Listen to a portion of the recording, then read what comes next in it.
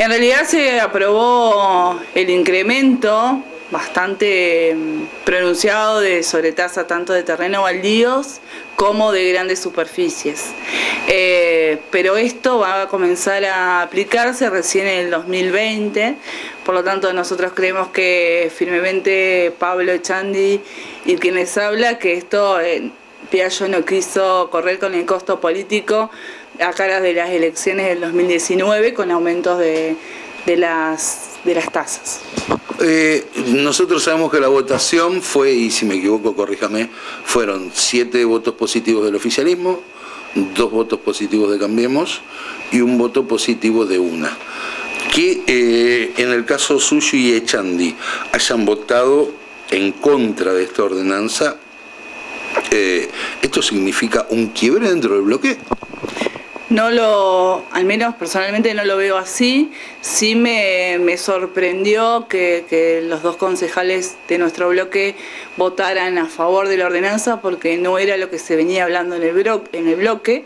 Fue una decisión que al menos eh, y, yo no, no, no, alcanzamos a por lo menos a dilucidar que esto iba a pasar y sí creo que, fue una, una maniobra eh, por parte del concejal Verón de ocultar sí la, la, ordenanza, lo que es la decisión.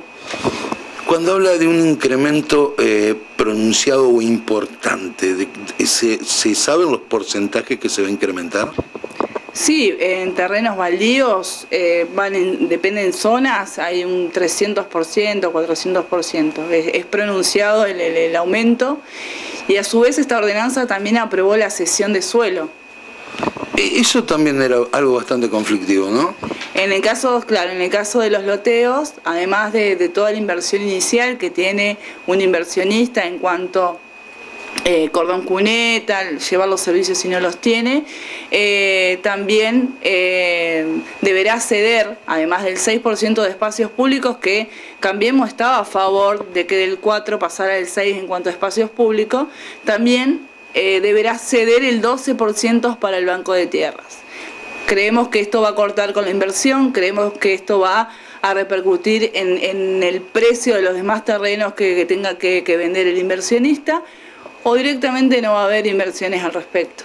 ¿Ustedes pues, creen, a, su entender, que, que, esta ordenanza va a ser contraproducente a lo que se pregona desde el Ejecutivo, que es para solucionar problemas habitacionales? Claramente, tengamos en cuenta que nosotros votamos por unanimidad en la ordenanza del Banco de Tierras.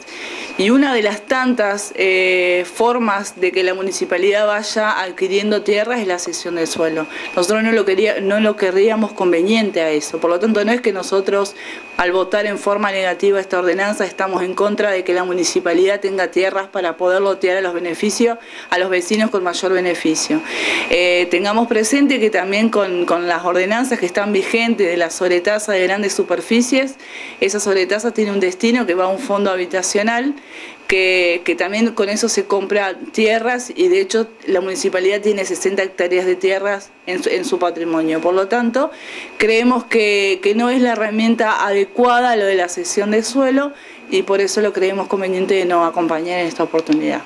Eh, sabemos que debe haber sido quizás la última sesión extraordinaria del periodo 2018.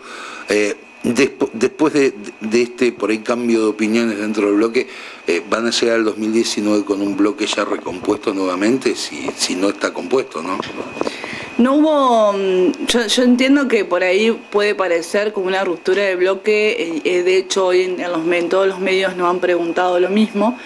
Eh, desconcierto por la votación porque no se venía no se venía hablando en el en el bloque de, con respecto a esta ordenanza pero no lo creo una ruptura. Eh, sí seguramente va a haber charla de por medio pero no creemos que haya una ruptura de bloques